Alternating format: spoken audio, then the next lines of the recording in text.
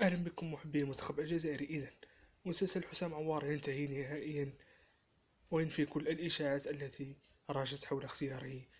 او حبه للمنتخب الجزائري حيث قام اليوم ديدي ديشون باستدعاء رسميا لمباراة السويد وكرواتيا وكذلك البرتغال من خلال الندوة الصحفية التي أقامها اليوم